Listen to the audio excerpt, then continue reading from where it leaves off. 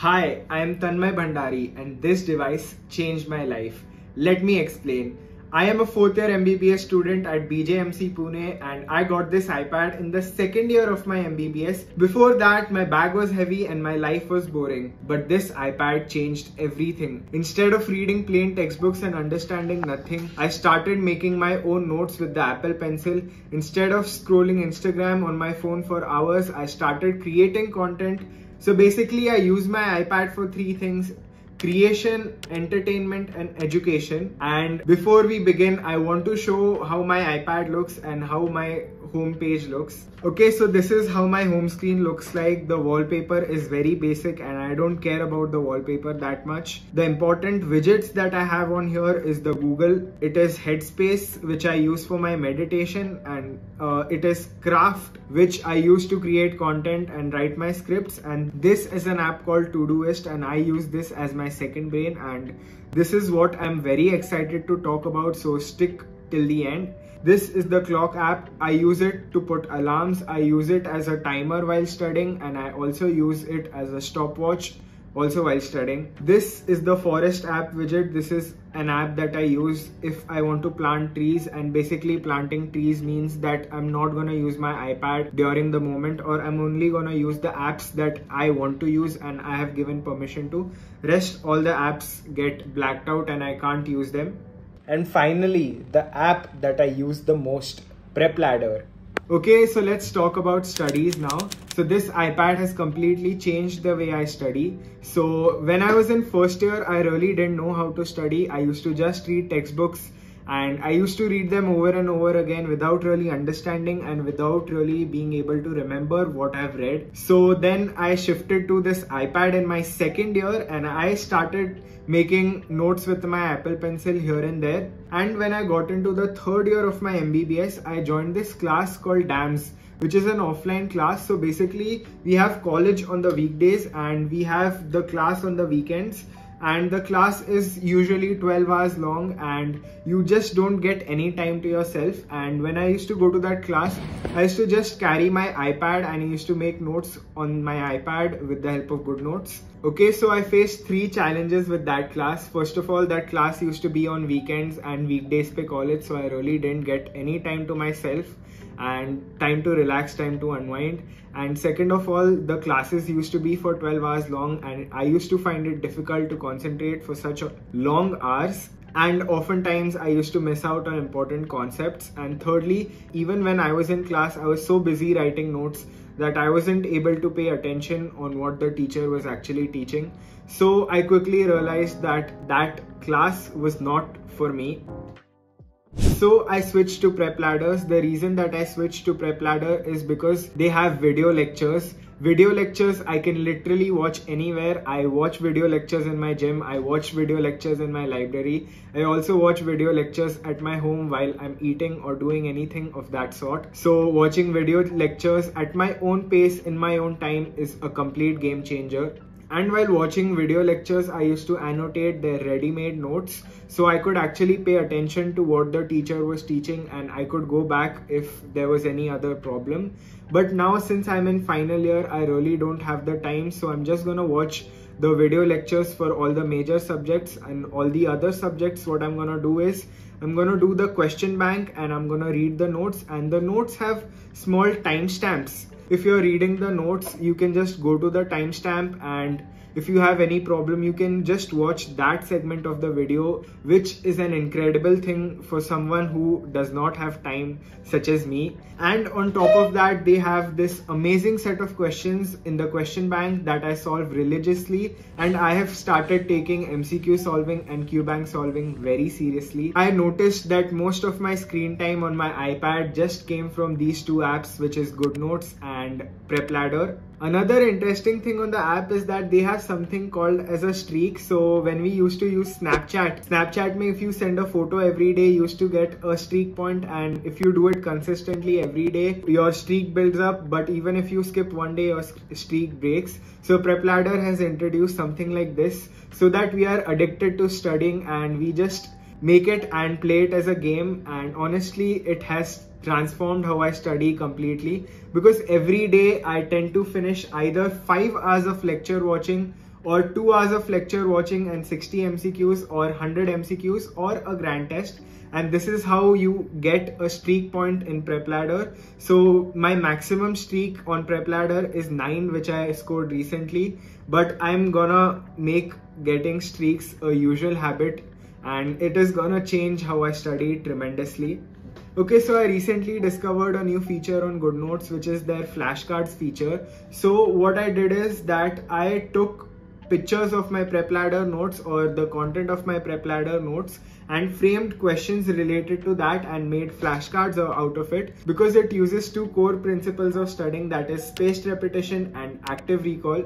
So recently I came across a YouTube video by Justin Sung who is a study coach in the US and he talks about something called as encoding. So we all know about active recall and spaced repetition but he believes in something called encoding and which means that you just understand your data well, you just interpret your data well and you organize your data well so that you don't forget and you don't need active recall and you don't need spaced repetition because your graph of forgetting becomes slower and you remember information for a longer period of time and this is what completely was like engraved in me and you should check out his videos because they're really amazing and I'll link it down in the description. So anyway, he talks about something called as a mind map and a mind map is basically how you study. So when you are studying something, you tend to make connections with what you've already studied and hence it builds up a network in your brain. Your brain uses something called as neuroplasticity. So when you learn a new piece of information, your brain connections become stronger and the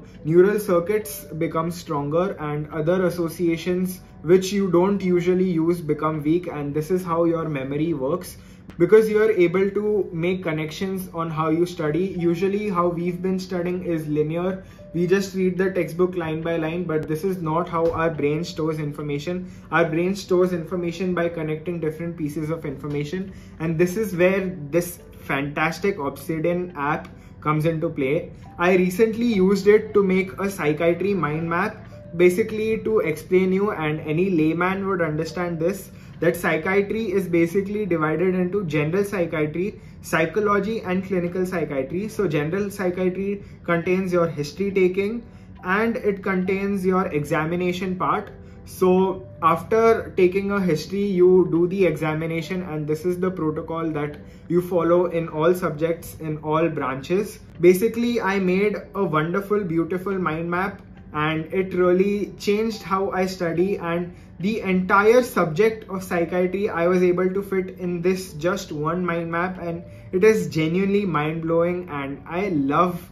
And what I did was I just used my previously made notes. And I just took screenshots from GoodNotes and I used it to make this amazing mind map. At some places I even wrote it down if you want me to make a complete tutorial for this app because I'm genuinely excited and if you are like me, you are struggling with studies and you are struggling with remembering information, this could be the solution to our problems. So this was all about studies and how I'm gonna use my iPad to study and how I've been using it so far.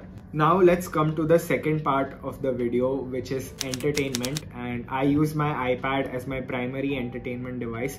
I literally stopped watching TV because the iPad is a way convenient source to watch content because you can literally be in bed and watch whatever you want. At the same time, this iPad is very addictive. That's why I use this app called Forest where when I don't want to use my iPad, I just put Forest on and I'm only able to access the apps that I really am gonna use apps such as GoodNotes, PrepLadder, etc.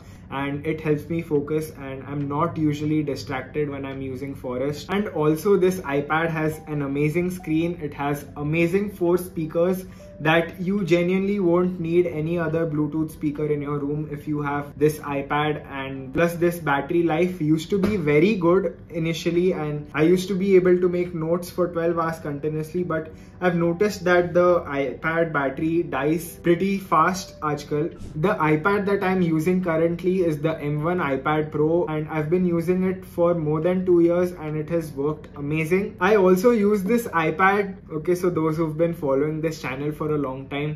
Know that I'm a Gujarati and Gujaratis are obsessed with money. So jab lockdown hua tha and I was alone at home, I researched about the stock market because that was like something that everyone was talking about at that time and we had nothing to do and there was no college. So basically i did a lot of research. I did a lot of courses and i started investing in the stock market. And I used to do something called as swing trading and it made me a lot of money and I was profitable in the stock market and I am still in profit in the stock market for those who are interested in knowing. But now since I'm in fourth year, there is so much academic pressure. I'm running this YouTube channel. I really don't have the time to look into the stock market. So I use this app called Smallcase and they basically manage your portfolio for you and Smallcase is an amazing way if you're looking to invest money in the stock market. But if you're looking to invest money in general the best way to invest money is to invest money in yourself because suppose you buy a video editing course for 5000 rupees you'll be able to earn 10x 20x with the same 5000 rupee course because you are genuinely adding to your skills but if you put in 5000 rupees in the stock market, it's going to take years to multiply. So if you learn a good skill, if you invest money in yourself, if you invest money in buying this iPad or these kind of gadgets that improve your productivity, make you creative, you don't necessarily need this iPad. If you want to create and if you think that it's gonna develop your skills and if you have money lying around you can definitely invest in this device. I also use this ipad as my second brain and this is how i use it. There is a very famous quote that says that your brain is supposed to have ideas not to store them for example if someone tells me कि कल दो बजे medicine का lecture है so the thought will keep running in my mind and sometimes what will happen is that my brain will be stuck with that thought and there will be no room for new ideas in my brain so what I can do is I can create a second brain और I can create a system where all of my brains unnecessary things or the things that I'm gonna need in the future. I can just dump it in one place and when I have the time, I can attend to that task so that my brain is always free to have new ideas all the time. So to accomplish that, I use this app called Todoist, which is basically a to-do list app, but I use it in a very different way. So whenever there is something in my mind, such as if someone tells me that there is a lecture at 2 tomorrow, so I'll just write that lecture at 2 tomorrow p.m. tomorrow. So this will just set a reminder in my Todoist and this widget is there on my home screen on my phone as well as iPad. So I will always understand what task is there for me tomorrow or whenever I look at my phone. So this is basically how it works and I don't just use it as a calendar. So for example, my goal is to meditate every day. So I make a recurring task on Todoist which is meditate every day. So this becomes a task and I'll keep getting notifications on my Todoist that I need to meditate every day. So this is what my Todoist looks like currently and as I keep doing things, I'll just tick them and the things that are overdue from yesterday are on the top. So other than that, I also use it for creative purposes. For example, I'm in college and someone tells me ki Tanmay, you should really watch this movie called Three Idiots. It's a really good movie. So I'll just type Three Idiots here and I'll put it here and when I'm home, when I'm free, I'll just check this off and I'll put it in my notes in the list of movies that I need to watch. This is how anything and everything that comes to my mind is here. Let me give you another example. So suppose I get an idea that I want to make a video called what's on my iPad and I'm sitting in a lecture in college, I'll just write it down here and I use an app called Craft to basically write my scripts. So whenever I'm free, I'll just use this and I'll put it in Craft. And just like that, any other idea I get all the time, I just put it in my second brain because naturally I'm a forgetful human. Plus this has completely changed my life. And if you like this video please hit a like show some love and I'll see you guys in the next one.